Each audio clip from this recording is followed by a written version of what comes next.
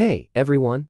If you've just gotten your new Z Edge monitor and find its refresh rate stuck at 60 Hz instead of the higher rate it should support, don't worry. Follow these simple steps. We'll resolve it quickly. Firstly, ensure your HDMI or DP cable is plugged into the right monitor port. Let's check these ports. Pay attention to the HDMI port. HDMI 1.4 only supports 1000 ATIP at 60 Hz. For 240 Hz, you need HDMI 2.0 or higher. So, please check the version number marked on the port to ensure correct insertion.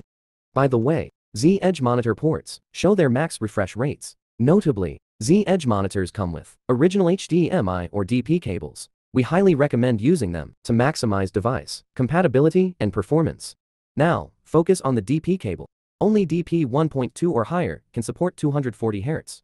Similar to checking the HDMI port, Verify the DP ports version from its markings before plugging in the cable. After ensuring the cable is plugged into the right port, press Win and I to open the settings interface, then find and click System on the left. Next, click Display in the first row to enter the display settings. Alternatively, right-click the blank area on the desktop and select Display Settings, which will directly open the Display Settings window. Scroll down to find Advanced Display and click it. Now, you can see the option. Choose a refresh rate.